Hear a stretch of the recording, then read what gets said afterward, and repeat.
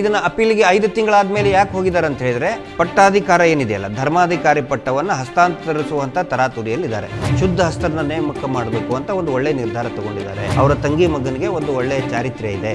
ಸಂತೋಷ್ ರಾವ್ಗೆ ಮತ್ತಷ್ಟು ಸಂಕಷ್ಟಗಳು ಎದುರಾಗೋ ಸಾಧ್ಯತೆ ಇಲ್ಲ. ವೆರಿ ವೆರಿ ಲೆಸ್ ಒಬ್ಬ ವ್ಯಕ್ತಿಯ ಮೇಲೆ ಎರಡು ಬಾರಿ ತನಿಖೆ ಮಾಡೋದಕ್ಕೆ ನಮ್ಮ ದೇಶದ ಕಾನೂನಿನಲ್ಲಿ ಅವಕಾಶ ಇಲ್ಲ. ಸಿ ಬಿ ಐನ ಪ್ರಾಸಿಕ್ಯೂಷನ್ ಅವರು it is unfit for appeal ಅಂತ ಒಪಿನಿಯನ್ ಕೊಟ್ಟಾಗಿದೆ. ನಿಮ್ಮ ಹೋರಾಟ ಮುಂದುವರಿಯುತ್ತೆ.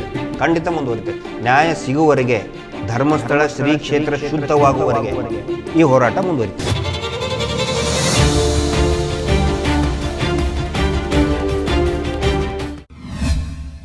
ವೀಕ್ಷಕರೇ ನಮಸ್ಕಾರ.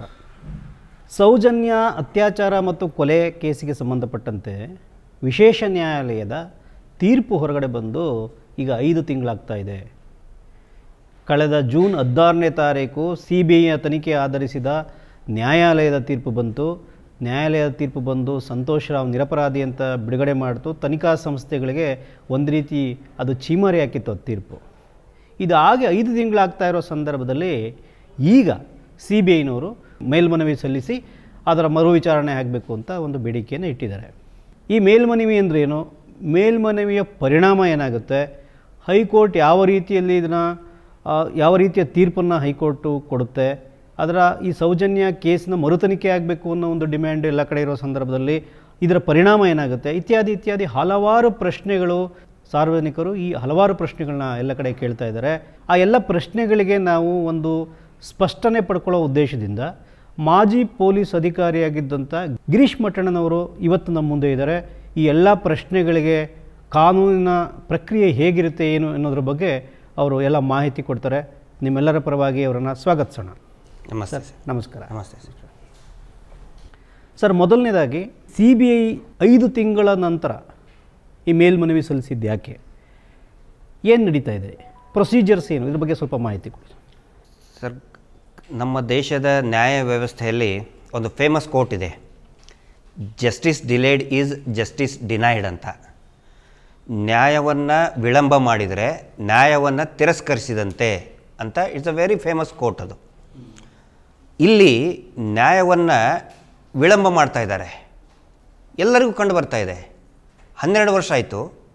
ಇನ್ನೂ ಕೂಡ ಈ ಸಿ ಬಿ ಐ ಮೇಲ್ಮನವಿ ಸಲ್ಲಿಸಿದಂತಹ ಉದ್ದೇಶ ಬಹಳ ಸ್ಪಷ್ಟವಾಗಿದೆ.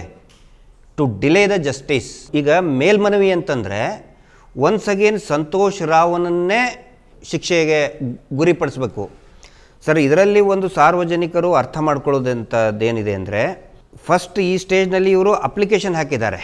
ಮೇಲ್ವನಿಗೆ ಬರೀ ಅಪ್ಲಿಕೇಶನ್ ಹೋಗಿದೆ. ಹೈಕೋರ್ಟ್ಗೆ. ಹೈಕೋರ್ಟಿಗೆ. ಯಾವ ಬೆಂಚಿಗೆ ಬರಬೇಕನ್ನೋದು ಇನ್ನೂ ಡಿಸೈಡ್ ಆಗಿಲ್ಲ. ಫಸ್ಟ್ ಡಿಸೈಡ್ ಆಗಬೇಕು. ಅದಾದ ನಂತರ ಸ್ಕ್ರೂಟಿನಿ ಆಗಬೇಕು. ಈ ಲೋಯರ್ ಕೋರ್ಟ್ನಲ್ಲಿ ವಿಶೇಷ ನ್ಯಾಯಾಲಯದಲ್ಲಿ ಏನು ವಾದ ವಿವಾದ ಪ್ರತಿವಾದಿಗಳದ್ದು ಏನು ವಾದ ಮಂಡನೆ ಮಾಡಿದರು ಜಜ್ಮೆಂಟು ಎಲ್ಲವನ್ನು ಕೂಡ ಪರಿಶೀಲನೆ ಮಾಡ್ತಾರೆ ಸಾಕ್ಷ್ಯಾಧಾರಗಳು ಸಾಕ್ಷಿ ಆಧಾರಗಳು. ಇದನ್ನೆಲ್ಲ ಗಮನಿಸಿ ಜಜ್ಮೆಂಟನ್ನು ಕೂಡ ನೋಡ್ತಾರೆ. ನಾವು ಈ ಬೆಂಚಲ್ಲಿ ತಗೋಬೇಕಾ ಬೇಡ? ಇದು ಯೋಗ್ಯವಾದಂಥ ಪ್ರಕರಣನ ಪರಿಶೀಲನೆಗೆ ಅದು ಡಿಸೈಡ್ ಮಾಡ್ತಾರೆ. ಅದು ಸ್ಕ್ರೂಟಿನಿ ಸ್ಕ್ರೂಟಿನಿ ಅದು. ಆ ಮೊದಲು ನ್ಯಾಯಾಲಯ ನಾನು ಅಕ್ಸೆಪ್ಟ್ ಮಾಡಬೇಕೋ ಬೇಡ ಅನ್ನೋದೇ ಒಂದು ಪ್ರಕ್ರಿಯೆ ಅದು. It's a very lengthy procedure ಅದಾದ ಮೇಲೆ, ಅದೆಲ್ಲ ಆದಮೇಲೆ ಹೌದು, ಸಂತೋಷ್ ರಾವಣನ ಬಗ್ಗೆ ವಿಚಾರಣೆ ಮಾಡಬೇಕು ಅಂತ. ಇಲ್ಲಿ ಶಬ್ದಗಳನ್ನು ನೀವು ಗಮನಿಸಿ.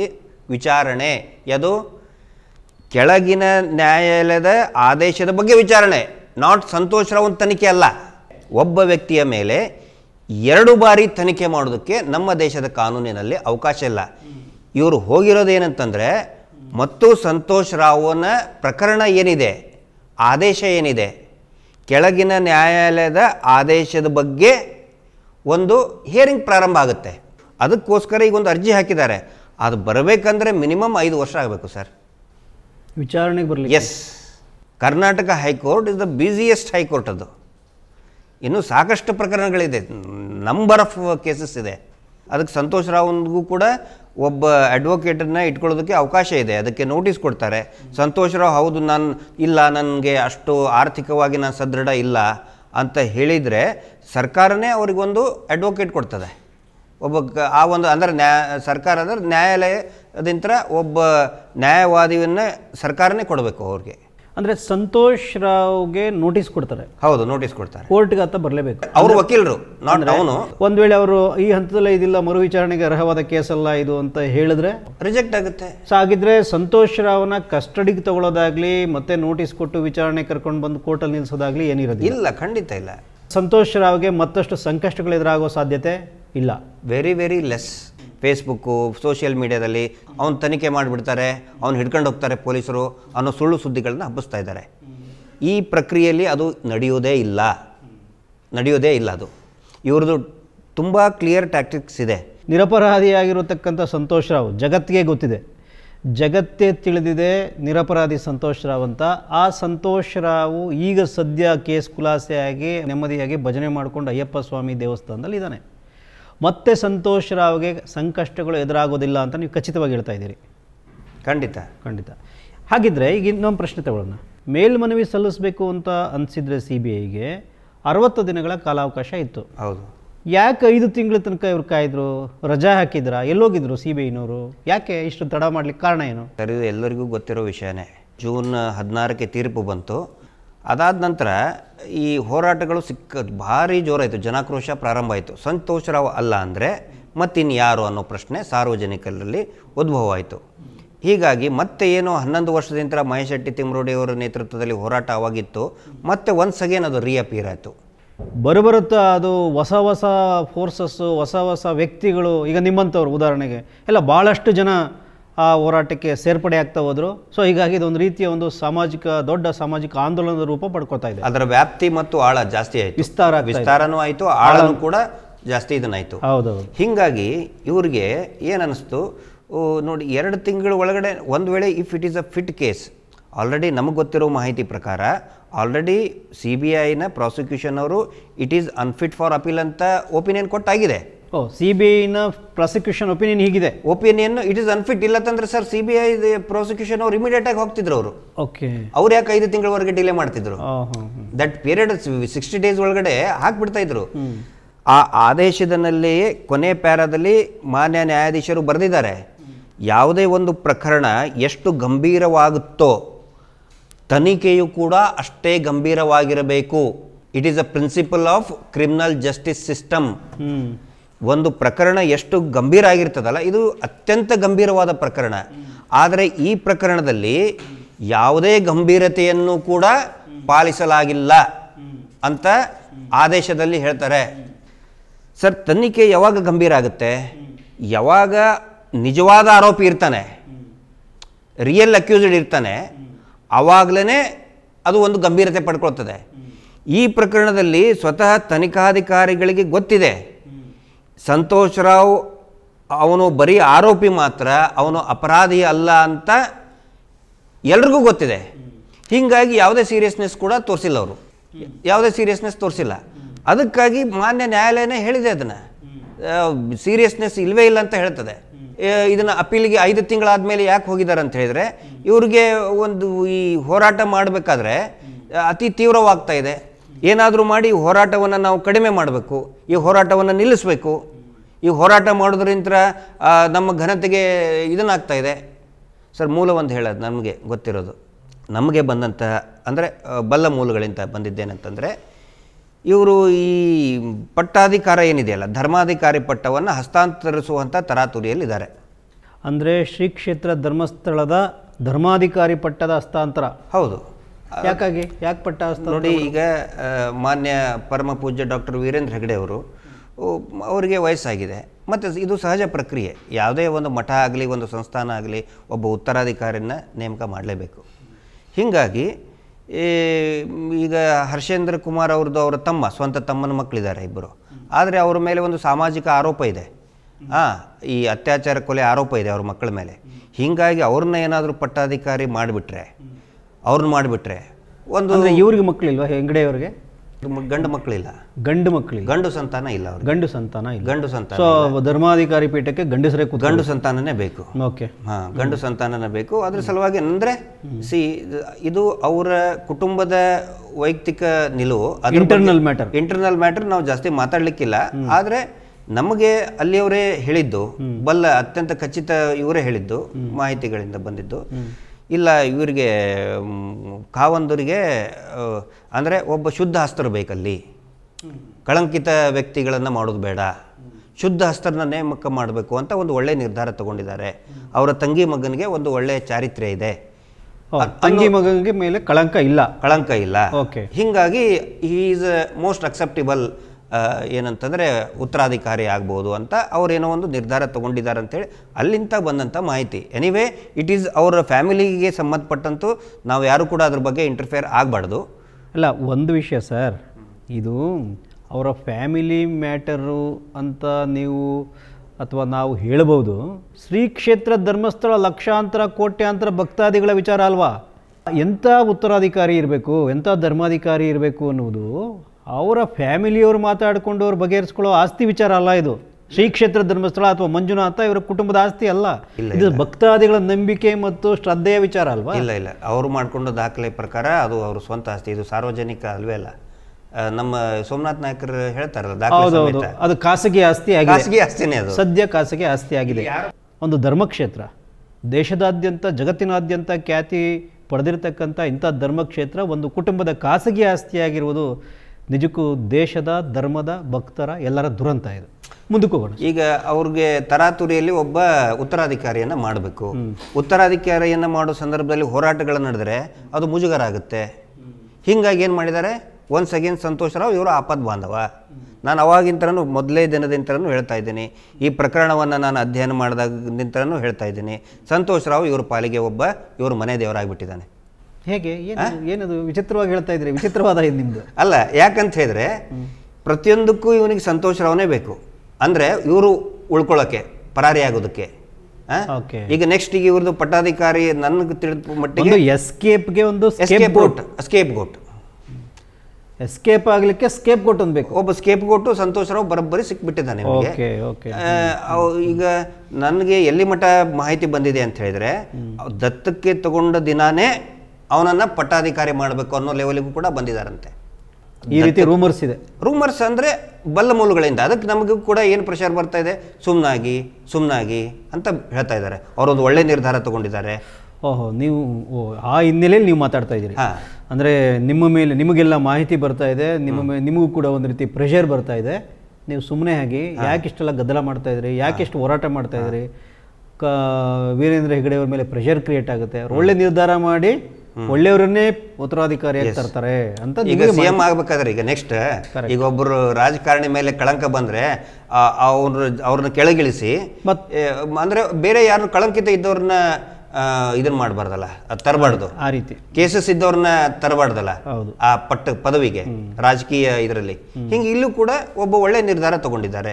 ಪೂಜ್ಯರು ಕಾವಂದರು ಒಳ್ಳೆ ನಿರ್ಧಾರ ತಗೊಂಡಿದ್ದಾರೆ. ಆ, ತರ ತರಾತುರಿಯಲ್ಲಿ ಇದ್ದಾರೆ ಈಗ. ಹಿಂಗಾಗಿ ಮತ್ತೆ ಪ್ರತಿಭಟನೆಗಳು ಜಾಸ್ತಿ ಆದರೆ ಇದನ್ನಾಗುತ್ತೆ ಅಂತೇಳಿ ಮತ್ತೆ ಒನ್ಸ್ ಅಗೇನ್ ಐದು ತಿಂಗಳಾದ ಮೇಲೆ ಸಿ ಬಿ ಐನವ್ರ ಮೇಲೆ ಒತ್ತಡ ಹಾಕಿ ಇದು ಸಿ ಬಿ ಐನವ್ರು ಮಾಡಿದ್ದಲ್ಲ. ಸಿ ಬಿ ಐನವ್ರು ಮಾಡೋದಾದ್ರೆ ಅವಾಗ ಮಾಡ್ತಿದ್ರು ಸರ್. ಅಂದರೆ ಸಿ ಬಿ ಐನವ್ರಲ್ಲ ಅಂತೀರಿ ಇದು? ಸಿ ಬಿ ಐನವ್ರ ಮೇಲೆ ಒತ್ತಡ ತಂದಿದ್ದಾರೆ.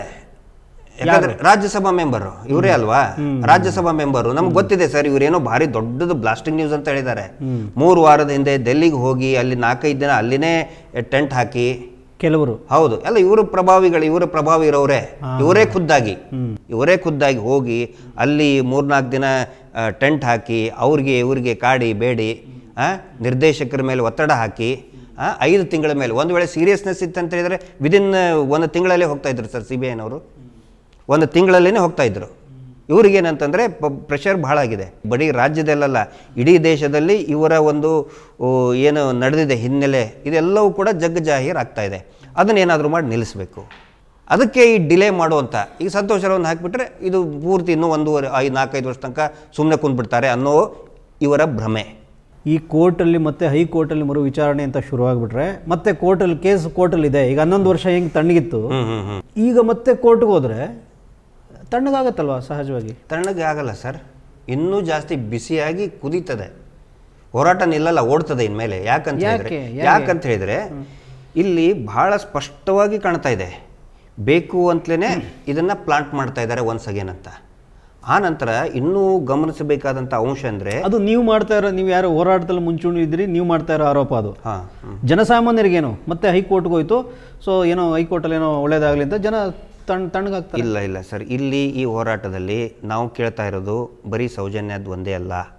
ಸೌಜನ್ಯಳ ಅತ್ಯಾಚಾರಕ್ಕಿಂತ ಮುಂಚೆನೂ ಕೂಡ there are number of murders and rapes for example ಮಾವುತ ಕುಟುಂಬದ ಜೋಡಿ ಕೊಲೆ. ಅದು ಬರೀ ಇಪ್ಪತ್ತೊಂದು ದಿನದ ಹಿಂದೆ ಆದಂತಹ ಕೊಲೆಗಳು ಸೌಜನ್ಯ ಪ್ರಕರಣಕ್ಕೆ ಇಪ್ಪತ್ತೊಂದು ಇಪ್ಪತ್ತೊಂದು ದಿನಕ್ಕಿಂತ ಮುಂಚೆ ಸಿ ರಿಪೋರ್ಟ್ ಇದೆ. ಹಾಗಿದ್ರೆ ಅದು ಕೊಲೆ ಅಲ್ವಾ? ಅಪರಾಧನೇ ಅಲ್ವಾ? ಸೌಜನ್ಯ ಒಂದೇನಾ?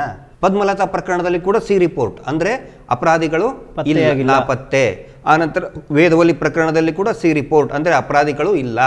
ಜೋಡಿ ಮಾವುತ ಕುಟುಂಬದ ಕೊಲೆಗಳಲ್ಲಿ ಕೂಡ ಅಪರಾಧಿಗಳು ನಾಪತ್ತೆ ಪತ್ತೆಯಾಗಿಲ್ಲ ಪತ್ತೆ. ಆಗಿಲ್ಲ ಅನ್ನೋಕ್ಕೇನು ಅಲ್ಲೇ ಇದ್ದಾರೆ ಅವರು ಧರ್ಮಸ್ಥಳದಲ್ಲಿ? ದೊಡ್ಡ ಸ್ಥಾನದಲ್ಲೇ ಇದ್ದಾರೆ. ಆ? ಇದು ಜನಕ್ಕೆ ಗೊತ್ತಿಲ್ವಾ? ಅಂದರೆ ಅದು ಅವರು ಮಾವು ಆ- ಆ ಕೊಲೆಗಳ ಬಗ್ಗೆ ನ್ಯಾಯ ಕೇಳಬಾರ್ದಾ?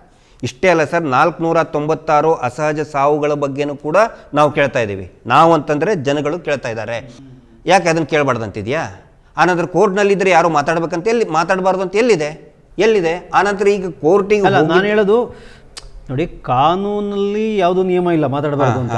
ಆದರೆ ಜನರ ಭಾವನೆಗಳ ಬಗ್ಗೆ ನಾನು ಹೇಳ್ತೀನಿ. ಹೌದು. ಹೇಗೆ ಜೂನ್ ಹದಿನಾರರಲ್ಲಿ ಜೂನ್ ಹದಿನಾರನೇ ತಾರೀಕು ಸಿ ಬಿ ಐ ಕೋರ್ಟ್ನ ತೀರ್ಪು ಬಂದ ನಂತರದಲ್ಲಿ ಜನರ ಆಕ್ರೋಶ ಮತ್ತೆ ಜಾಸ್ತಿ ಆಯಿತು. ಹಾಗೆ ಮತ್ತೆ ಕೋರ್ಟ್ಗೆ ಹೋಗಿ ವಿಚಾರಣೆ ಅಂತ ಅಂದಾಗ ಜನರ ಆಕ್ರೋಶ ತಣಿಬೋದಲ್ವಾ ಖಂಡಿತ ಇಲ್ಲ ಸರ್. ಜನರ ಆಕ್ರೋಶ ಇನ್ನೂ ಜಾಸ್ತಿ ಆಗುತ್ತೆ. ಅವಾಗ ನೀವು ಹತ್ತು ವರ್ಷದ ಹಿಂದೆ ಏನೋ ಒಂದು ಡೌಟಲ್ಲಿದ್ದರು ಸಂತೋಷ್ ರಾವ್ ಇರಬಹುದೋ ಇಲ್ಲೋ ಅಂಥೇಳಿ ಯಾವಾಗ ಕೋರ್ಟ್ ಸ್ವತಃ ಸಂತೋಷ್ ರಾವ್ ಅಲ್ಲ ಅಂದ ಮೇಲೆ ಮತ್ತಿನ್ಯಾಕಪ್ಪ ಹೋಗ್ತಾರೆ? ಅನ್ನೋ ಒಂದು ಆಕ್ರೋಶ ಕಡಿಮೆ ಆಗಲ್ಲ. ಹತ್ತು ಪಟ್ಟು ಜಾಸ್ತಿ ಆಗುತ್ತೆ ಆ ಫ್ರಸ್ಟ್ರೇಷನ್ ಅಂದ್ರೆ ಸಂತೋಷ್ ರಾವ್ನ ಆಗ ಫಿಕ್ಸ್ ಮಾಡಿದ್ರು. ಮತ್ತೆ ಅವನನ್ನೇ ಫಿಕ್ಸ್ ಮಾಡ್ಲಿಕ್ಕೆ ಮತ್ತೆ ಷಡ್ಯಂತ್ರ ಮಾಡ್ತಾ ಇದ್ದಾರೆ ಅನ್ನೋ ಭಾವನೆ ಮತ್ತೆ ಬರುತ್ತೆ. ಹೌದು ಆ ನಂತರ ಪದ್ಮಲತಾ ಪ್ರಕರಣದಲ್ಲಿ ಕೂಡ ಸರ್ ಈಗ ಹೆಂಗ್ ಸಂತೋಷ್ ರಾವ್ ಇದಾನಲ್ಲ ಅವಾಗ ವಸಂತ ಅನ್ನೋನ್ ಫಿಕ್ಸ್ ಮಾಡಿದ್ರು. ವಸಂತ ಅನ್ನೋ ಒಬ್ಬ ಅಲ್ಲಿ ಲೋಕಲ್ ಹುಡುಗನ್ ಫಿಕ್ಸ್ ಮಾಡಿದ್ರು ಪದ್ಮಲತಾ ಪ್ರಕರಣದಲ್ಲಿ. ಅಯ್ಯೋ ದೇವ್ರೆ. ಹಾಂ. ಆಮೇಲೆ ಏನಾಯ್ತು? ಆವಾಗ ಸಿಕ್ಕಾಪಟ್ಟೆ ಎಲ್ಲರೂ ಪ್ರತಿಭಟನೆ ಮಾಡಿ ವಿತ್ ಸಾಕ್ಷಿಗಳ ಮುಖಾಂತರ ಆ ಪ್ರಕರಣ ಆದಾಗ ಅವನು ಅಲ್ಲಿ ಇದ್ದಿದ್ದೇ ಇಲ್ಲ ಅಂತ ಹೇಳಿದ ಮೇಲೆ ಆ ಚಾರ್ಜ್ ಶೀಟ್ ಇಂತ ಹೊರಗಡೆ ತಂದ್ರು ಅವನ್ನ ಸೇರಿಸ್ಕೊಳ್ಳಿಲ್ಲ. ಇಲ್ಲಿ ಒಂದು ರೀತಿಯ ಅನ್ಯಾಯ ಅಲ್ಲ. ಹೌದು. ಡಬಲ್ ಡಬಲ್ ರೀತಿ. ಆನಂತರ ಸಾಕ್ಷಿಗಳ ಕೊಲೆ ಕೊಲೆಗಳು. ನಾನು ಹೇಳ್ತಾ ಇದ್ದೀನಿ ಮೊನ್ನೆ ಮೈಸೂರಿನಲ್ಲಿ ಒಂದು ವಿಷಯವನ್ನು ಪ್ರಸ್ತಾಪ ಮಾಡಿದ್ದೆ ನಾನು. ಅದರ ನೆಕ್ಸ್ಟ್ ಇದನ್ನು ನಿಮ್ಗೆ ಹೇಳ್ತಾ ಇದ್ದೀನಿ ಸೂಕ್ಷ್ಮವಾಗಿ. ಹರೀಶ್ ಅನ್ನೋನು ಎಲ್ಲಿ ಹೋದ? ಅವನು ನಾಪತ್ತೆ ಆದ ಅಂತ ನಾನು ಹೇಳಿದೆ. ಮೈಸೂರಿನ ಒಡನಾಡಿ ಸಂಸ್ಥೆಯಲ್ಲಿ ನಾನು ಒಂದು ಸ್ಕ್ರೀನ್ ಎಲ್ಲಾನು ಹೇಳಬೇಕಾದ್ರೆ ಅಂದ್ರೆ ಸೌಜನ್ಯಾಳನ್ನ ಮತ್ತು ಸಂತೋಷ Correct, correct. ಒಟ್ಟಿಗೆ ನೋಡ್ದೆ. ನೋಡಿದಂಥವನು ಅಂತ ಹೇಳ್ಕೊಂಡು ಮಹಾನುಭಾವ ರುದ್ರಮುನಿ ಅವರು ಅವ್ರನ್ನ ಸಾಕ್ಷಿ ಅಂತಾಗಿ ಮಾಡ್ತಾರೆ. ಆದ್ರೆ ಸಿ ಬಿ ಐದವರು ಅವನ ಸಾಕ್ಷಿ ಅಂತ ಪರಿಗಣಿಸಲ್ಲ. ಹಾಗಿದ್ರೆ ಹರೀಶ್ ಅಲ್ಲಿ ಹೋದ? ಅವನು ಕೂಡ ಈಗ ನಾಪತ್ತೆ ಅಂತ ಮೈಸೂರಲ್ಲಿ ಹೇಳಿದೆ. ಬಟ್ ವಿತ್ ಪ್ರೂಫ್ ನಾನು ನೆಕ್ಸ್ಟ್ ಇದರಲ್ಲಿ ಹೇಳ್ತಾ ಇದ್ದೀನಿ. ಹರೀಶನ್ನ ಯಾವ ರೀತಿ ಆಕ್ಸಿಡೆಂಟ್ ಅಂತ ತೋರಿಸಿ ಕೊಲೆ ಮಾಡಿದ್ರು ಅನ್ನೋದನ್ನ ಸಾಕ್ಷಿ ಸಮೇತ ನಾನು ತೋರಿಸ್ತೇನೆ. ಅಲ್ಲ ಹರೀಶ್ ಸತ್ತೋದ್ ಎಸ್ ಅಯ್ಯೋ ದೇವ್ರೆ. ಆಕ್ಸಿಡೆಂಟ್ ಅಂತ ಇವ್ರು ತೋರಿಸಿದ್ರು ಬಟ್ ಅಲ್ಲ ಹರೀಶ್ ಸತ್ತ ಸತ್ ಹೋಗ್ಬಿಟ್ಟ. ವಾಸ್ ಹಿ ವಾಸ್ ಅವನು ಕೂಡ ಫಿನಿಶ್ ಮಾಡಿದ್ರು. ಹ್ಞೂ ಓ ಇದೊಂಥರ ಸಸ್ಪೆನ್ಸ್ ಥ್ರಿಲ್ಲರ್ ಸ್ಟೋರಿ ಆಯ್ತು ಇದು. ಸರ್ ಈಗ ನಾನು ಹೇಳಿದ್ರೆ ಏನಂತಾರೆ ಗೊತ್ತಾ? ಈಗ ಆಗದೆ ಇರೋರು ಅವ್ರ ಗ್ಯಾಂಗ್ನವರು ಮಟ್ಟಣ್ಣವ್ರ ಕತೆ ಹೇಳ್ತಾನೆ ಏ ಬರೀ ಒಂದು ಕತೆ ಹೇಳ್ತಾನೆ ಅಂತ ಹೇಳಿ ಸತ್ತಿದ್ದು ಹೆಣ ಕತೆನಾ? ಸತ್ತಿದ್ದಾನೆ ಅಂತ ನೀವು ಹೇಳ್ತಾ ಇದ್ದೀರಲ್ಲ. ತೋರಿಸ್ತೇನೆ ಯಾವ ರೀತಿ ಮಾಡಿದ್ರು ಅನ್ನೋದನ್ನ ವಿತ್ ದೊಡ್ಡ ಸ್ಕ್ರೀನ್ ಹಾಕಿ ತೋರಿಸ್ತೇನೆ. ಯಾವ ರೀತಿ ಅವನು ಮುಗಿಸಿದ್ರು ಅನ್ನೋದನ್ನ ಸ್ಕ್ರೀನ್ ಹಾಕಿ ವಿಡಿಯೋ ಮುಖಾಂತರ ಪೂರ್ತಿ ಕೊಟ್ಟು ಇದ್ದಂತಹ ಫೋಟೇಜ್ಗಳ ಮುಖಾಂತರ ತೋರಿಸ್ತೀನಿ ನಾನು ಮುಂದಿನ ಕಾರ್ಯಕ್ರಮದಲ್ಲಿ. ಮಟ್ಟಣ್ಣವ್ರಿಗೆ ಕತೆ ಹೇಳೋದು ಗೊತ್ತು ಕತೆ ಮುಗಿಸೋದು ಗೊತ್ತು. ಪೊಲೀಸ್ ತನಿಖಾಧಿಕಾರಿಯಾಗಿದ್ದಾಗ ಹೆಚ್ಚಿಗೆ ಕೆಲಸ ಮಾಡ್ಲಿಕ್ಕೆ ಅವಕಾಶ ಸಿಗಲಿಲ್ಲ ನಿಮಗೆ? ಈಗ ದೇವರು ಕೊಟ್ಟಿದ್ದಾನೆ. ಈಗ ಮತ್ತೆ ಶುರು ಮಾಡ್ಕೊಂಡಿದ್ದೀರಿ. ಈಗ ದೇವರು ಕೊಟ್ಟಿದ್ದ ನನಗೆ ಆ ಒಂದು ಅವಕಾಶ ಈ ಹೋರಾಟಗಾರರು ಮಹೇಶ್ ಶೆಟ್ಟಿ ತಿಮ್ಮರೂಡಿಯವರು ಸೌಜನ್ಯಾಳ ಕುಟುಂಬ ಆ ಒಂದು ಅವಕಾಶ ನನಗೆ ಕೊಟ್ಟಿದೆ. ಅದನ್ನು ನಾನು ಸಂಪೂರ್ಣವಾಗಿ ನಿಷ್ಠೆಯಿಂದ ಮಾಡ್ತಾ ಇದ್ದೀನಿ ಸರ್. ಮಾಡಿ ಮಾಡಿ. ಆರೋಪ ಒಳ್ಳೆ ಮಾಡಲಿ ನನ್ನ ಮೇಲೆ. ಓಕೆ. ಸರ್ ಇದರಲ್ಲಿ ಇನ್ನೊಂದು ಮುಖ್ಯ ಗಮನಿಸಬೇಕಾಗಿದ್ದು ಸಾರ್ವಜನಿಕರ ಗಮನದಲ್ಲಿನೂ ಕೂಡ ನಾನು ತರಬೇಕಾಗಿದ್ದು ಏನಂದರೆ ಎರಡು ಸಾವಿರದ ಇಪ್ಪತ್ತೊಂದರಲ್ಲಿ ಅಂದರೆ ಎರಡು ಸಾವಿರದ ಹತ್ತೊಂಬತ್ತರಲ್ಲಿನೇ ಇದು ಏನೀಗ ಫರ್ದರ್ ಇನ್ವೆಸ್ಟಿಗೇಷನ್ ಅವಾಗಲೇ ಕೊಟ್ಟಿದ್ದಾರೆ. ನಾವೀಗ ಏನು ಹೋರಾಟ ಮಾಡ್ತಾ ಇದ್ದೀವಲ್ಲ ಆ ಮೂರು ಜನರ ಮೇಲೆ ಸಂಶಯಾಸ್ಪದರ ಮೇಲೆ ತನಿಖೆ ಮಾಡ್ರಿ ಅಂತ ನಾವು ಮರು ತನಿಖೆ ಅಂತ ಹೇಳ್ತಾ ಇದ್ದೀವಲ್ಲ ಆಲ್ರೆಡಿ ಟೂ ತೌಸಂಡ್ ನೈನ್ಟೀನಲ್ಲಿ ಇದೇ ವಿಶೇಷ ನ್ಯಾಯಾಲಯ ಅವ್ರನ್ನ ತನಿಖೆ ಮಾಡ್ರಿ ಅಂತ ಹೇಳಾಗಿತ್ತು. ಇದೇ ಕೋರ್ಟು? ಎಸ್ ನನ್ನ ಮುಂದೆ ಈಗ ಸಿ ಬಿ ಐ ಕೋರ್ಟ್ನ ಅದೇ ಸ್ಪೆಷಲ್ ಕೋರ್ಟ್ನ ತೀರ್ಪುನ ಕಾಪಿ ಇಲ್ಲಿ ಪ್ರತಿ ಇದೆ. ಹೌದು. ಇದೇ ತೀರ್ಪಿನಲ್ಲಿ ನೀವು ಹೇಳೋ ಪ್ರಕಾರ ಆರೋಪಿಗಳಿದ್ದಾರೆ? ಸಂತೋಷ್ ರಾವನ್ನ ಹೊರತುಪಡಿಸಿ ಮೂರು ಜನ. ಸಂಶಯಾಸ್ಪದರು ಏನಿದ್ದಾರೆ. ಧೀರಜ್ ಕೆಲ್ಲಾ ಮಲ್ಲಿಕ್ ಜೈನ ಉದಯ್ ಜೈನ. ಇವರು ಮೂರು ಜನರ ಮೇಲೆ ತನಿಖೆ ಮಾಡಿ ತನಿಖೆ ಮಾಡಿ ಅಂತ ಮಾನ್ಯ ಸ್ಪೆಷಲ್ ನ್ಯಾಯಾಲಯನೇ ಹೇಳಿತ್ತು. ಅಂದ್ರೆ ಡೈರೆಕ್ಷನ್ಸ್ ಇದು ಡೈರೆಕ್ಷನ್ಸ್ ಕೊಟ್ಟಿತ್ತು. ಸಿಬಿಐಗೆ. ಡೈರೆಕ್ಷನ್ಸ್ ಕೊಟ್ಟಿತ್ತು. ಓಕೆ. ಅವಾಗ ಏನ್ ಮಾಡ್ತಾರೆ ಇವರು? ಹೈಕೋರ್ಟಿಗೆ ಅಪೀಲ್ ಹೋಗ್ತಾರೆ. ಯಾರು? ಈ ಮೂರು ಜನರ ಪರವಾಗಿ ಒಬ್ಬ ವಕೀಲರು ನ್ಯಾಯಾಲಯದ ಪ್ರಕ್ರಿಯೆ ಪ್ರಕಾರನೇ ಹೈಕೋರ್ಟಿಗೆ ಹೋಗ್ತಾರೆ. ಹೈಕೋರ್ಟ್ನಲ್ಲಿ ಇವರು ಇನ್ನೇನೇನೋ ಇವ್ರದ್ದು ಅದೇ ಅಲ್ಲ you know law I know judge ನಾನು ಯಾರನ್ನೂ ಇಲ್ಲಿ ಟೀಕೆ ಮಾಡಕ್ಕೆ ಹೋಗ್ತಾ ಇಲ್ಲ. ಅಲ್ಲಿ ಇದು ರಿಜೆಕ್ಟ್ ಆಗುತ್ತೆ. ಏನು ಅಂತಂದರೆ ಹೈಕೋರ್ಟ್ನ ಹೈಕೋರ್ಟ್ಗೆ ತಪ್ಪು ಮಾಹಿತಿ ಕೊಟ್ಟು ದಿಕ್ಕು ತಪ್ಪಿಸ್ತಾರೆ ದಿಕ್ ತಪ್ಪಿಸ್ತಾರೆ. ಇದೆ ದಿಕ್ ತಪ್ಪಿಸೋದಂದ್ರೆ ಏನು? ಇವರು ಧರ್ಮಸ್ಥಳದ ಮೇಲೆ ಅಪಪ್ರಚಾರ ಮಾಡ್ತಾರೆ ದೇವ್ರ ಮೇಲೆ ಅಪಪ್ರಚಾರ ಮಾಡ್ತಾರೆ ಹಿಂಗ ಅದು ಇದು ಹೇಳ್ಕೊಂಡು ದಿಕ್ ತಪ್ಪಿಸ್ತಾರೆ. ಸರ್ ಇಲ್ಲಿ ನಾನು ಕೇಳ್ತಾ ಇರೋ ಪ್ರಶ್ನೆ ಏನಂದ್ರೆ ದಿಕ್ಕು ತಪ್ಪಿಸಿ ನೀವು ಹೇಳೋದು? ಹೈಕೋರ್ಟ್ ಹೇಳುತ್ತೆ ಈ ಮೂರು ಜನರದ್ದು ತನಿಖೆ ಮಾಡಬಾರ್ದು ಅಂತ ಹೈಕೋರ್ಟ್ ಹೇಳುತ್ತೆ. ಅಗತ್ಯ ಇಲ್ಲ ಅಂತ. ಅಗತ್ಯ ಇಲ್ಲ. ಸರ್ ಇಲ್ಲಿ ನಾನು ಕೇಳ್ತಾ ಇರುವಂತಹ ಒಂದು ಮುಖ್ಯ ಪ್ರಶ್ನೆ. ಯಾವಾಗ ಈ ಪ್ರಭಾವಿ ಅಂದ್ರೆ ಅವಾಗ ಒನ್ಸ್ ಅಗೇನ್ ಹೈಕೋರ್ಟು ಬೇಡ ಅಂದಮೇಲೆ ಸಿ ಬಿ ಐ ಸುಪ್ರೀಂ ಕೋರ್ಟಿಗೆ ಹೋಗ್ಬೇಕಿತ್ತಲ್ವಾ ಅಪೀಲಿಗೆ? ಹೌದು.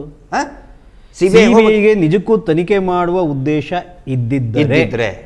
ಅಪೀಲ್ಗೆ ಹೋಗ್ಬೇಕಿತ್ತು ಸುಪ್ರೀಂ ಕೋರ್ಟಿಗೆ ಹೋಗಲಿಲ್ಲ ಅವಾಗ. ಈ ಮೂರು ಜನರ ಪ್ರಭಾವಿಗಳ ಅಗೇನ್ಸ್ಟ್ ಆಗಿ ಅಪೀಲಿಗೆ ಹೋಗಲಿಲ್ಲ ಸಿ ಬಿ ಐ ಈಗ ಇಲ್ಲಿ ಅಮಾಯಕನ ವಿರುದ್ಧ ಐದು ತಿಂಗಳಾದ ಮೇಲೆ ಹೋಗ್ತಾರೆ. ಅಮಾಯಕ ಸಂತೋಷ್ ರಾವ್ನ ವಿರುದ್ಧ ಹೈಕೋರ್ಟಿಗೆ ಸಿ ಬಿ ಐ ಅಪೀಲ್ಗೆ ಹೋಗ್ತಾರೆ. ಅಲ್ಲಿ ಆ ಪ್ರಭಾವಿಗಳ ವಿರುದ್ಧ ಅಪೀಲ್ಗೆ ಹೋಗಲ್ಲ ಸಿ ಬಿ ಐ ಅಂದರೆ ಇದರಿಂದ ನಾವು ಏನು ಅನ್ಕೋಬೇಕು? ಸಿಬಿಐ ಯಾರ ಪರವಾಗಿ ಕೆಲಸ ಮಾಡ್ತಾ ಇದೆ? ಪ್ರಭಾವಿಗಳ ಪರವಾಗಿನೇ CBI B I caged parrot ಅಂತ ಹೇಳ್ತದೆ. ನ್ಯಾಯಾಲಯ ಹೇಳ್ತದೆ. ಹೋರಾಟಗಾರರಲ್ಲ. ನ್ಯಾಯಾಲಯ CBI is a caged parrot caged parrot ಅಂದ್ರೆ ಪಂಜರದಲ್ಲಿ ಪಂಜರದ ಸೇರಿಸಲಾದ ಗಿಳಿ. ಗಿಳಿ ಅಂತ ಹೇಳ್ತಾರೆ. ಆನಂತರ ಆರುಷಿ ಮರ್ಡರ್ ಕೇಸ್ನಲ್ಲಿ ಏನ್ ಹೇಳ್ತದೆ ಅಂತ ಹೇಳಿದ್ರೆ CBI B I fail to live up to its reputation ಅಂದ್ರೆ ಅದರ ಘನತೆಯ ತಕ್ಕಂತೆ ಸಿಬಿಐ ಬಿ ಐ ಕೆಲಸ ಮಾಡ್ತಾ ಇಲ್ಲ ಅಂತ ಹೇಳಿ ಆರುಷಿ ಮರ್ಡರ್ ಕೇಸ್ನಲ್ಲಿ ಅಲ್ಲೂ ಕೂಡ ಸಿ ಬಿ ಐನವ್ರು ಫೇಲ್ ಆಗ್ತಾರೆ. ಒಟ್ಟಾರೆಯಾಗಿ ನಾವು ಸಿ ಬಿ ಐದು ಪ್ರೊಫೈಲ್ ನೋಡಿಬಿಟ್ರೆ ಟೋಟಲ್ ಕನ್ವಿಕ್ಷನ್ ರೇಟ್ ಹೈ ಪ್ರೊಫೈಲ್ದು ಈಗ overall conviction rate sixty seven ಅಂತ ಹೇಳ್ತಾರೆ. ಆದರೆ high ಪ್ರೊಫೈಲ್ದು conviction rate it is only three point nine six percent ಹತ್ತತ್ರ ನಾಲ್ಕು ಪರ್ಸೆಂಟ್ ಮಾತ್ರ ಸಿ ಬಿ ಐ ತನಿಖೆ ಮಾಡಿದ ಪ್ರಕರಣದಲ್ಲಿ, ಬರೀ ನೂರಕ್ಕೆ ನಾಲ್ಕು ಪ್ರಕರಣಗಳ ಮಾತ್ರ ಕನ್ವಿಕ್ಷನ್ ಆಗಿದೆ, ಶಿಕ್ಷೆ ಆಗಿದೆ. ಉಳಿದ ತೊಂಬತ್ತಾರು ಪ್ರಕರಣದಲ್ಲಿ ಆರೋಪಿಗಳು ಖುಲಾಸೆ ಆಗಿದ್ದಾರೆ. ಇದು ಸಿ ಬಿ ಐ ಮೇಲಿರುವಂಥ ಅತ್ಯಂತ ಗುರುತರವಾದಂತಹ ಆರೋಪ. ಆರೋಪ ಅಲ್ಲ ಇದು ಫ್ಯಾಕ್ಟ್ ನೀವು ಹೇಳ್ತಿರೋದು ಹೌದು. ಫ್ಯಾಕ್ಟ್ಸ್ ಇದು. ಅಂದ್ರೆ ಸಿಬಿಐ ದಕ್ಷತೆ ನಾಲ್ಕು ಪರ್ಸೆಂಟ್ ನಾಲ್ಕು ಪರ್ಸೆಂಟ್ ಇದೆ. C B I C B ಪಾಪ ಜನಸಾಮಾನ್ಯರಲ್ಲಿ ಸಿ ಬಿ ಐ ಮಾಡಿಬಿಟ್ರೆ ಸರಿ ಹೋಗ್ಬಿಡ್ತದೆ ಅಂಥೇಳಿ. ಆ ಮುರುಘಾಮಠ ಸ್ವಾಮೀಜಿ ತನಿಖೆಯಲ್ಲಿ ಸಿ ಬಿ ಐ ಮಾಡಿದ್ರಾ? ಸಿ ಐ ಡಿ ಮಾಡಿದ್ರಾ? ಇಲ್ಲ. ಲೋಕಲ್ ಪೊಲೀಸರು ಮಾಡಿದರು ಜೈಲಿಗೆ ಹೋದ್ರೆ ತಾನೆ. ಇಲ್ಲಿ ಸರ್ ಪ್ರಾಮಾಣಿಕ ಕೈಗಳ ಅವಶ್ಯಕತೆ ಇದೆ ಇಲ್ಲಿ. ಇಲ್ಲಿ ಸಿ ಬಿ ಐನ್ ಯಾಕೆ ಎಳಿತಾ ಇದ್ದಾರೆ ಅಂತಂದರೆ it is a delay process ಅದು. ಜಸ್ಟಿಸ್ ಟು ಬಿ ಡಿಲೇಡ್ ಎಲ್ರಿಗೂ ಗೊತ್ತಿದೆ ಸಂತೋಷ್ ರಾವ್ ಜನ್ಮದಲ್ಲಿ ಶಿಕ್ಷೆ ಆಗಲ್ಲ. ಯಾಕಂದ್ರೆ ಅವನು ಅಲ್ವೇ ಅಲ್ಲ ಅಂತ ಎಲ್ರಿಗೂ ತನಿಖೆ ಮಾಡಿದಂಥ ಅಧಿಕಾರಿಗಳಿಗೂ ಕೂಡ ಗೊತ್ತಿದೆ. No evidence to link Santosh link accused with this crime ಅಂತ ಹೇಳುತ್ತೆ. ಅಂತ ಹೇಳ್ತದೆ ಅಂತ ಹೇಳಿದಾಗ ನನಗನ್ಸಿದ ಮಟ್ಟಿಗೆ ಸರ್ ಈ ಹೈಕೋರ್ಟಲ್ಲಿ ಈಗೇನು ಹೋಗಿದಾರಲ್ಲ? ಹೈಕೋರ್ಟು ಕಪಾಳ ಮೋಕ್ಷ ಮಾಡ್ತದೆ. ಯಾರಿಗೆ? ಸಿ ಬಿ ಐಗೆ ಕಪಾಳ ಮೋಕ್ಷ ಮಾಡ್ತದೆ. ಮತ್ತೆ ಅದ್ರ ಹಿಂದೆ ಇರ್ತಕ್ಕಂಥ ಅವ್ರಿಗೆ? ಅವ್ರಿಗೆ ಬಿದ್ದಂಗೆ ಮತ್ತೆ ಅವ್ರಿಗೆ ಅವ್ರಿಗೆ ಇದು ವರ ಶಬ್ದದಲ್ಲಿ ಹೇಳ್ತದೆ. ಹಿಂದಿದ್ದವ್ರಿಗೆ ಬಿದ್ದಂಗೆನೆ. ಅದನ್ನು ಯಾರು ಮಾಡಿಸಿದಾರಲ್ಲ? ಯಾಕಂತ ಹೇಳಿದ್ರೆ ಇದರ ಹಿನ್ನೆಲೆ ಉದ್ದೇಶ ಎಲ್ರಿಗೂ ಕೂಡ ಗೊತ್ತಿದೆ. ಓನ್ಲಿ ಡಿಲೇಯಿಂಗ್ ಟ್ಯಾಕ್ಟಿಸ್ ಅಂತ ಹೇಳಿ. ಇವು ಬರೀ ಡಿಲೇ ಮಾಡ್ಕೊಂಡು. ಡ್ರ್ಯಾಗ್ ಮಾಡಿ. ಆನಂತರ ಜನರಿಗೆ ಒಂದು ದಾರಿ ತಪ್ಪಿಸ್ಬೇಕು. ಸರಿ ಈಗ ಇನ್ನೊಂದು ಪ್ರಶ್ನೆ ಇದೆ. ನೋಡಿ ಸಿ ಬಿ ಐ ಜಡ್ಜ್ಮೆಂಟಲ್ಲಿ ಆರ್ಡರ್ ಏನು ಹೇಳುತ್ತೆ? ನಾನು ಸೆಲೆಕ್ಟೆಡ್ ಪ್ಯಾರ ಮಾತ್ರ ಹೇಳ್ತೀನಿ. Place the copy of this judgement before the honourable chairman of D L S A to award suitable compensation to the family of victim under the scheme of victim compensation ಅಂತ ಹೇಳುತ್ತೆ.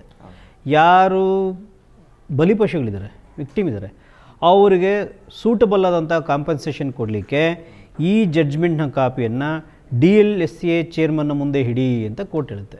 ಈ ಪ್ರಕ್ರಿಯೆ ಏನಾಗುತ್ತೆ? ಈಗ ಯಾರಿಗೆ victim ಯಾರಿದ್ದಾರೆ? Victim family Santosh Rao. Soujanya families victim ಅವ್ರಿಗೂ ಮತ್ತು ಎರಡನೇದಾಗಿ ಈಗ ಸಂತೋಷ್ ರಾವ್ ಅಂತ ಕೂಡ ಇಲ್ಲ ಅರ್ಥ ಆಗುತ್ತೆ. ಸೊ ಹಾಗಾಗಿ ಅವ್ರಿಗೆ ಸೂಟಬಲ್ ಕಾಂಪನ್ಸೇಷನ್ ಕೊಡಲಿಕ್ಕೆ ಸ್ಕೀಮ್ ಆಫ್ ವಿಕ್ಟಿಮ್ ಕಾಂಪನ್ಸೇಷನ್ನ ಅಡಿಯಲ್ಲಿ ಇದನ್ನ ಅವ್ರಿಗೆ ಕೊಡಲಿಕ್ಕೆ ಡಿ ಎಲ್ ಎಸ್ ಚೇರ್ಮನ್ ಮುಂದೆ ಇಡಿ ಅಂತ ಆರ್ಡರ್ ಮಾಡುತ್ತೆ. ಇದು ಏನು? ಇದು ಮುಂದೆ ಏನು ಸರ್ ಇದರಲ್ಲಿ ಇಬ್ಬರು ನಾನು ಕ್ಲಿಯರಿಫೈ ಮಾಡ್ತೇನೆ. ಇಬ್ಬರು ವಿಕ್ಟಿಮ್ ಒಂದು ಯಾರು ಸೌಜನ್ಯ. ಅವಳು ವೆರಿ ಬ್ರೂಟಲ್ ಆಗಿ ಕೊಲೆ ಆದಂಥ ಸೌಜನ್ಯ ಒಂದು ವಿಕ್ಟಿಮ್ ಅದು ಆನಂತರ after the judgement of court Santosh ರಾವನ್ನು ಕೂಡ ಬಲಿಪಶು ಅಂತಲೇ ಕನ್ಸಿಡರ್ ಮಾಡಬೇಕಾಗುತ್ತೆ. ಅದಕ್ಕೆ ನಾನು ಹೇಳ್ತಾ ಇದ್ದೀನಿ ಸರ್ ಇದರಲ್ಲಿ ಭಾಳ ಸೂಕ್ಷ್ಮವಾಗಿ ಹೇಳ್ತಾ ಇದ್ದೀನಿ. ಇವರೇನು ಭಾಳ ದೊಡ್ಡ ಸ್ಥಾನ ಮಾಡಿ ಹೋಗಿದಾರಲ್ಲ ಇದು ಅವರ ಕಾಲ ಮೇಲೆ ಅವರೇ ಕೊಡಲಿ ಪೆಟ್ಟನ್ನು ಹಾಕಿದ್ದಾರೆ. ಹಾಕ್ಕೊಂಡಿದ್ದಾರೆ ಈಗ. ಸಿ ನಮಗೂ ಯಾಕಂದ್ರೆ ಹೇಳಿದರೆ ಸೌಜನ್ಯ ಕುಟುಂಬಕ್ಕೂ ಮತ್ತು ಸಂತೋಷ್ ರಾವ್ ಕುಟುಂಬಕ್ಕೂ ಕೂಡ ಒಂದು ಒಳ್ಳೆಯ ಅವಕಾಶ ಇದೆ. ಒಂದು ನಾನು ಅವಾಗಿಂತ ಹೇಳ್ತಾ ಇದ್ದೆ ನಮಗೊಂದು ಅವಕಾಶ ಕೊಡಿ ಒಂದು ಡೋರ್ ಓಪನ್ ಮಾಡಬೇಕು ಡೋರ್ ಓಪನ್ ಮಾಡಬೇಕು ಅಂತೇಳಿ ಈಗ ಆ ಬಾಗಿಲು ತೆಗೆದಿದೆ. ಹೀಗಾಗಿ ಯಾವ ಜನಸಾಮಾನ್ಯರು ಕೂಡ ಧೃತಿಗೆಡುವಂಥ ಅವಶ್ಯಕತೆ ಇಲ್ಲ. ನೋಡಿ ಒಂದು ಕಾಂಪನ್ಸೇಷನ್ ವಿಕ್ಟಿಮ್ ಕಾಂಪನ್ಸೇಷನ್ ಪಾಯಿಂಟ್ ಇದೆ. ನೆಕ್ಸ್ಟ್ ಪ್ಯಾರಾಗ್ರಾಫ್ ಅಲ್ಲಿ ಏನಿದೆ? Further this is a fit case to place before acquittal committee.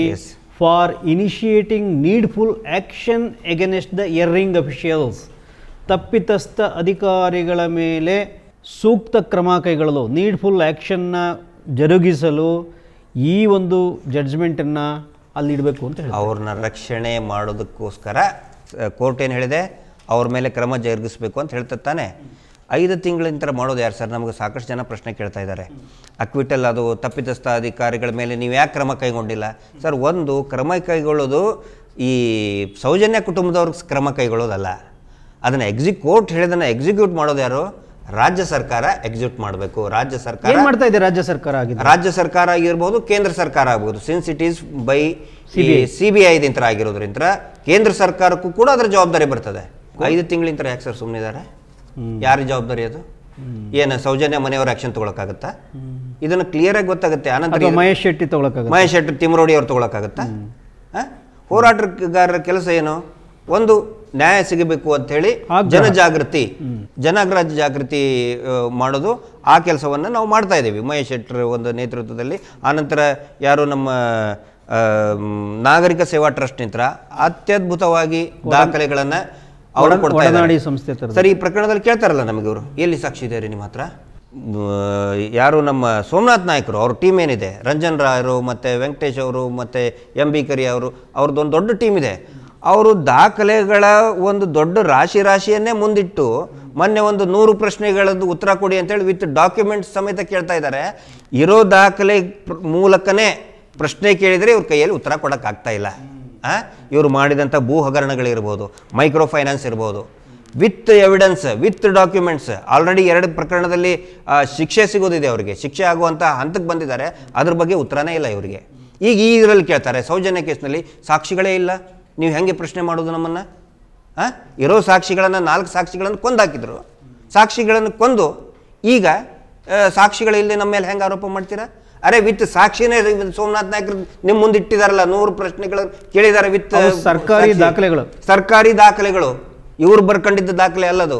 ಸರ್ಕಾರಿ ದಾಖಲೆ ಏಳು ಮುಕ್ಕಾಲು ಎಕರೆದ್ರಲ್ಲಿ ಭೂ ರೈತ ಕೃಷಿ ಕಾರ್ಮಿಕ ಅಂತ ಸರ್ಟಿಫಿಕೇಟ್ ತಗೋತಾರೆ ಇವರು. ಲ್ಯಾಂಡ್ ತಗೋತಾರೆ ಏಳು ಚಿಲ್ಲರೆ ಎಕರೆನ.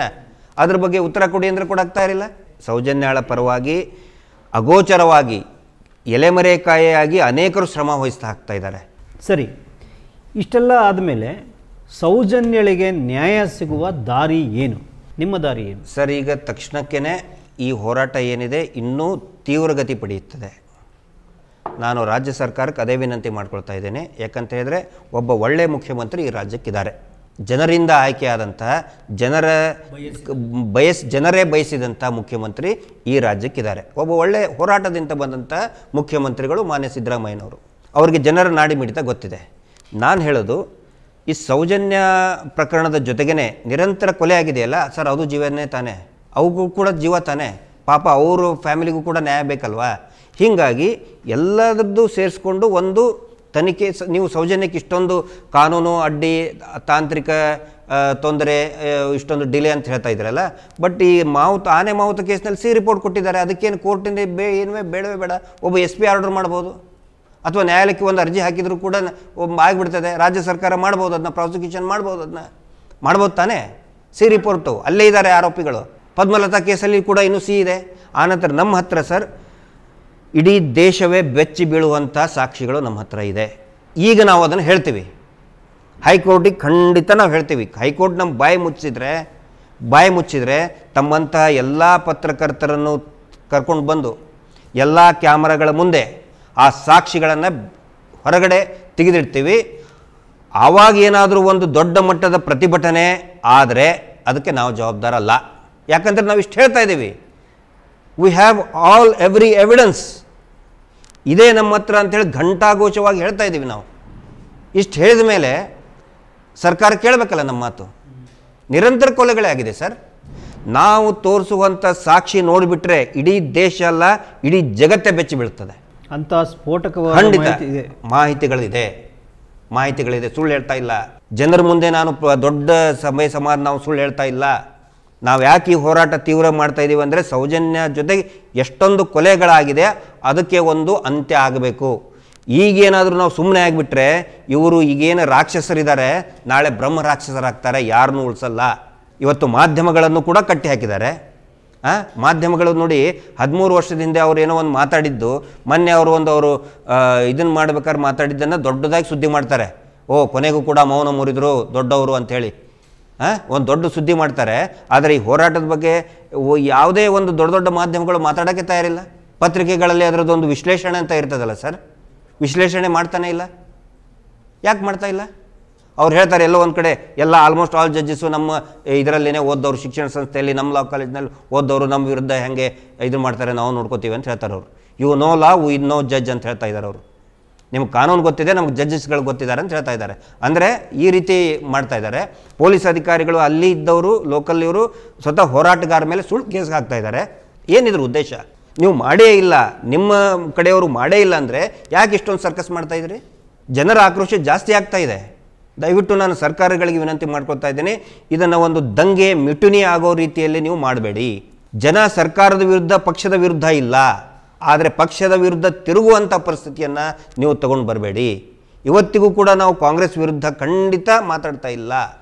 ಮಾತಾಡ್ಬೇಕಾದ್ರೆ ಆಕ್ಷೇಪದಲ್ಲಿ ಒಂದು, ಎರಡು ಮಾತು ಯಾರದವ್ರ ಬಗ್ಗೆ ಬಂದಿರ್ಬೋದು.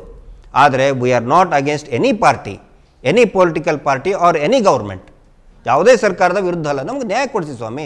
ಸಾಕ್ಷಿಗಳಿದೆ, ನಮ್ಮನ್ನು ಕರೀರಿ, ಹೇಳ್ತೀವಿ, ನೀವು ತೋರಿಸ್ತೀವಿ. ಅರ್ಧ ದಿನ ಟೈಮ್ ಕೊಡಿ. ಇಡೀ ದೇಶನೇ ಬೆಚ್ಚಿ ಬೀಳ್ತದೆ. ಏನು ಧರ್ಮಸ್ಥಳ ಅಂತ ನಾವು ತೋರಿಸ್ತೀವಿ ಇವಾಗ. ಅಂದರೆ ಧರ್ಮಸ್ಥಳದಲ್ಲಿ ಎಂಥ ಕಿಲ್ಲರ್ ಗ್ಯಾಂಗ್ ಇದೆ? ನಾವು ತೋರಿಸ್ತೀವಿ ಅದನ್ನ. ಅರ್ಧ ದಿನ ಟೈಮ್ ಕೊಡಿ ನಮಗೆ. ಹಾಫ್ ಡೇ ಇನಫ್ ನೀವು ಕಳೆದ ಬಾರಿ ಮಾತಾಡ್ತಾ ಇದ್ದಾಗ ಸೀರಿಯಲ್ ಸೈಕೋ ಕಿಲ್ಲರ್ ಗ್ಯಾಂಗ್ ಇದೆ ಅಂತ ಹೇಳಿದ್ರಿ. ಅವರ ಪೂರ್ತಿ ವಿವರಣೆಗಳನ್ನ ಕೊಟ್ಬಿಡ್ತೀವಿ. ಹೆಂಗ್ ಹೆಂಗೆ ಮಾಡಿದ್ದಾರೆ. ಏನೇನು ನಡೆದಿದೆ? ಆ ಮಂಜುನಾಥ ಸ್ವಾಮಿ ಮೇಲೆ ಭಕ್ತಿ ಇಟ್ಟು ನಾ ಈ ಮಾತು ಹೇಳ್ತಾ ಇದ್ದೇನೆ. ನಾವು ಮಂಜುನಾಥ ಸ್ವಾಮಿ ನಮ್ಮ ದ ದೇವರದು.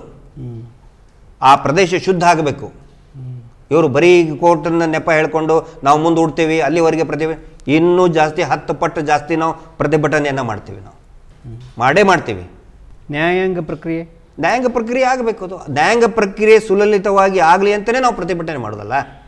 ನ್ಯಾಯಾಂಗ ಪ್ರಕ್ರಿಯೆ ಅದು ಕರೆಕ್ಟ್ ದಾರಿಯಲ್ಲಿಯೇ ಹೋಗಬೇಕು. ಯಾರನ್ನ ಹಿಡ್ಕೊಂಡು ಬಂದು ನೀವು ಮಾಡ್ತೀವಿ ಅಂತ ಹೇಳಿದ್ರೆ ಅದು ತಪ್ಪಲ್ವಾ? ಆನಂತರ law is made for the sake of person in need law is not made for the sake of law ಕಾನೂನು ಕಾನೂನಿನ ಸಲುವಾಗಿ ಮಾಡಿಲ್ಲ. ಕಾನೂನು ಜಡ್ಜಸ್ಗಳಿಗೆ ಪೇಮೆಂಟ್ ಕೊಡೋದಕ್ಕೆ ಸಂಬಳ ಕೊಡೋದಕ್ಕೆ ಲಾಯರ್ಗಳ ಫೀಸ್ ಕೊಡೋದಕ್ಕೆ ಉದ್ಯೋಗ ಸೃಷ್ಟಿ ಮಾಡೋಕ್ಕೆ ಉದ್ಯೋಗ ಸೃಷ್ಟಿ ಮಾಡಕ್ಕೆ ಕಾನೂನು ಮಾಡಿಲ್ಲ. ಕಾನೂನು ಮಾಡಿರೋದಕ್ಕೆ ನ್ಯಾಯ ಸಿಗಬೇಕು. ಪೀಡಿತವಾದಂತಹ ಶೋಷಿತ ವ್ಯಕ್ತಿಗೆ ನ್ಯಾಯ ಸಿಗಬೇಕಂತೇಳಿ ಕಾನೂನು ಮಾಡಿದ್ದಾರೆ. ಆ? ಅಲ್ಲಿ ಕಾನೂನಿದೆ ಅಲ್ಲಿ ನಡೀತಾ ಇದೆ ಸುಮ್ಮನೆ ಇರ್ರಿ ಅಂತ ಹೇಳಿದ್ರೆ ಅದು ತಪ್ಪು ನಡೀತಾ ಇದ್ರೆ ನಾವು ಸುಮ್ಮನೆ ಕೂತ್ಕೋಬೇಕಾ? ಸಂತೋಷ್ ರಾವ್ ಅಲ್ಲೇ ಅಲ್ಲ ಅಂತ ಎಲ್ಲರೂ ಹೇಳ್ತಾ ಇದ್ದಾರೆ ಗೊತ್ತಿದೆ. ಇವ್ರಿಗೆ ಅಗೇನ್ಸ್ಟ್ ಸಾಕ್ಷಿ ಇದೆ ನಮ್ಮ ಹತ್ರ. ಸಾಕಷ್ಟು ಸಾಕ್ಷಿ ಇದೆ. ಅದನ್ನು ಬಿಟ್ಟು ನಾವು ಯಾರನ್ನೋ ಮಾಡ್ತೀವಿ ನೀವು ಸುಮ್ಮನೆ ಕೂತ್ಕೊಳ್ರಿ ಅಂದರೆ ಇನ್ನೂ ಜಾಸ್ತಿ ಮಾಡ್ತೀವಿ ನಾವು. ನಿಮ್ಮ ಹೋರಾಟ ಮುಂದುವರಿಯುತ್ತೆ. ಖಂಡಿತ ಮುಂದುವರಿಯುತ್ತೆ. ನ್ಯಾಯ ಸಿಗುವವರೆಗೆ ಧರ್ಮಸ್ಥಳ ಶ್ರೀ ಕ್ಷೇತ್ರ ಶುದ್ಧವಾಗುವವರೆಗೆ ಈ ಹೋರಾಟ ಮುಂದುವರಿತದೆ. ನಿಮ್ಮ ಹೋರಾಟ ಯಶಸ್ವಿಯಾಗಲಿ ಸೌಜನ್ಯಳಿಗೆ ಸೌಜನ್ಯಳಂತೆ ದಾರುಣವಾಗಿ ಪ- ಪ್ರಾಣ ಕಳೆದುಕೊಂಡಂಥ ಹತ್ತಾರು ನೂರಾರು ಹೆಣ್ಣುಮಕ್ಕಳಿಗೆ ಮತ್ತು ಇತರೆ ಕೊಲೆಯಾದ ಆಸ್ತಿ ವ್ಯವಹಾರದಲ್ಲಿ ಬೇರೆ ಬೇರೆ ರೀತಿಯಲ್ಲಿ ಕೊಲೆಯಾದಂಥ ಎಷ್ಟೋ ಅಮಾಯಕರಿಗೆ ನ್ಯಾಯ ಸಿಗಲಿ. ನೀವು ಹೇಳಿದ ಹಾಗೆ ಧರ್ಮಸ್ಥಳದಲ್ಲಿ ಶಾಂತಿ ನ್ಯಾಯ ಕಾನೂನು ನೆಲೆಸಲಿ ಮತ್ತು ಧರ್ಮಸ್ಥಳ ಶುದ್ಧವಾಗಲಿ. ನಮಸ್ಕಾರ. ನಮಸ್ತೆ ಸರ್.